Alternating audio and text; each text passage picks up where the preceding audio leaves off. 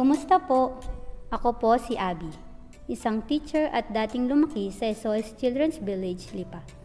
Sa classroom, kahit na ako ang madalas na nagsasalita, hindi ko rin nakakalimutang makinig sa mga kwento ng aking mga estudyante. Kailangan ng bawat bata ng taong handang makinig sa kanila. Kagaya rin noong bata pa ako, mula nung dumating ako dito sa SOS, si Mami Bebot na ang lagi kong nasasandalan at nakikinig sa aking bawat kwento. Siya ang karamay ko tuwing malungkot ako o may problema. Sana, kagaya ko, lahat ng bata ay lumaki rin na may kinikilalang magulang. Kaya malaki ang pasasalamat ko sa SOS at sa mga taong tumutulong sa akin.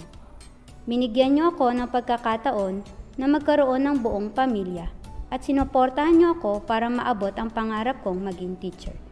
Marami mang pagsubok ang dumating sa buhay ko alam ko na may mga taong nagmamahal at naniniwala sa akin.